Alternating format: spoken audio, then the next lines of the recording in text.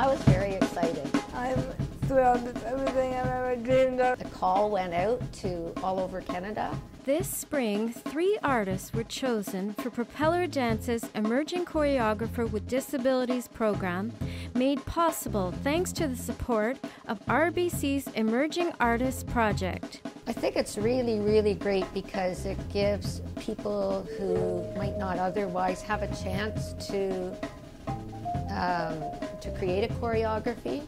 It gives us that opportunity. Frank G. Hull of Toronto, Moni Hoffman, and Liz Winkelaar of Ottawa are the three artists selected for the program.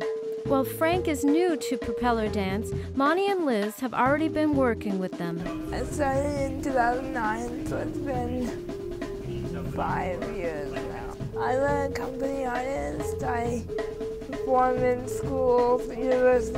Primarily, I've been doing uh, dance work in the company and also some teaching of propeller dance techniques and our recreational classes. The first of its kind in Canada, the grant provides mentorship to the artists to develop their own dance shows, which will be produced and presented by Propeller Dance in Ottawa next year.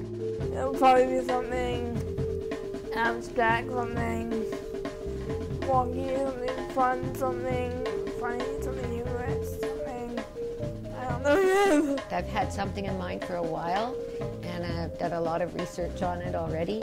So um, I'm really eager to get going. There are very few choreographers with disability in Canada, which is why this project is so important. It's kind of like uncharted territory in a way to have somebody with a disability choreo choreographing able-bodied dancers as well as dancers with disabilities. Stay tuned for the amazing results of these emerging choreographers.